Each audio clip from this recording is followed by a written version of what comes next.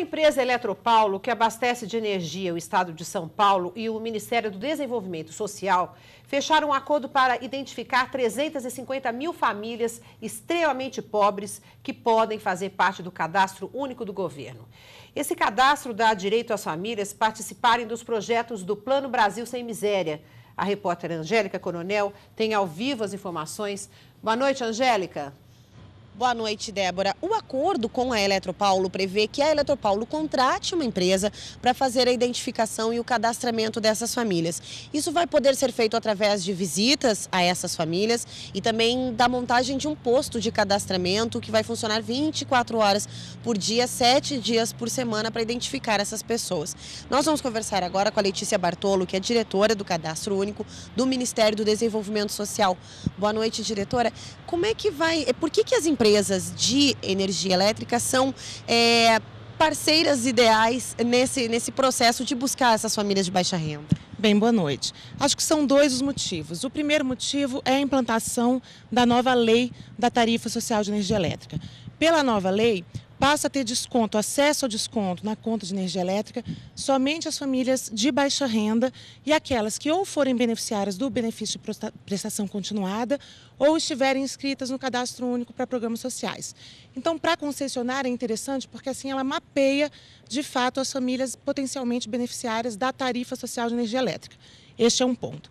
Um outro ponto importante, que é, entra o nosso interesse, o interesse do cadastro único desse apoio aos municípios, é que os agentes das concessionárias muitas vezes chegam à casa das famílias de baixa renda.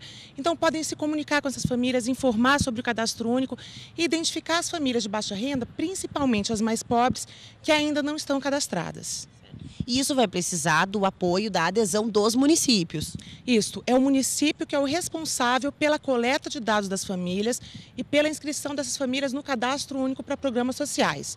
Então, nós não estamos, de maneira alguma, retirando a responsabilidade do município tanto que este é um acordo feito entre concessionária e município, ou seja, com a anuência do município e sob a coordenação do município. Agora, qual é a vantagem para essa família? A vantagem não é só participar, ter acesso à tarifa social de energia elétrica, ele participa de vários outros, pode participar de outros programas.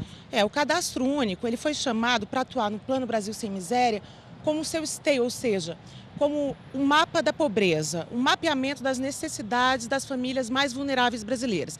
Então, estando o cadastro único, essa família vai poder acessar o programa Bolsa Família, conforme seja o caso, o programa de erradicação do trabalho infantil, Minha Casa Minha Vida e outro, todos os outros programas sociais que compõem a cesta de programas do Brasil Sem Miséria. Certo, muito obrigada pelas suas informações. Falamos sobre o cadastro único. Voltamos ao estúdio. Débora. Obrigada, Angélica. Um exemplo de busca ativa está no município mineiro de Juiz de Fora. A gestão do programa Bolsa Família do município comprou um ônibus com recursos do Índice de Gestão Descentralizada Municipal.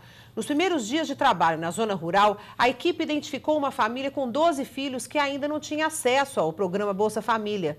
Além de inscrever a família no cadastro único, a equipe providenciou a carteira de trabalho dos adultos.